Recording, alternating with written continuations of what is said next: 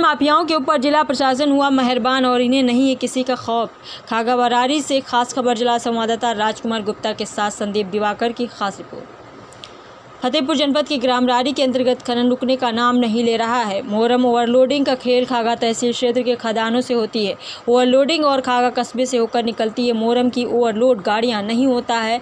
इन पर कोई कार्रवाई, खनन माफियाओं के ऊपर जिला प्रशासन व खनन विभाग पूरी तरह है मेहरबान, तभी निकलती है मोहरम की ओवरलोड गाड़ियाँ। क्षेत्रीय पुलिस जानकर भी बनी रहती है। अनजान सड़कों का भी बुरा हाल हो जाता है, जिससे कभी भी कोई बड़ा हादसा हो सकता है।